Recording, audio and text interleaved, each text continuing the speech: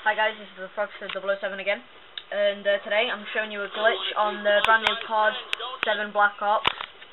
Um, now this is one of the barrier gl uh, glitches, and as you can see, look, I'm in the main uh, room here, and I'm on top of the um, the like main control room bit. Uh, here, as you can see where Oakley is, L-Bomb 96, he's on the pipe, and basically waiting for the crawler to come and hit you, and then you jump up, and you'll get on top of the pipe, and then you've got to jump up on here, okay? And that's basically what will happen. So it'll happen in a minute. Oaks will show you.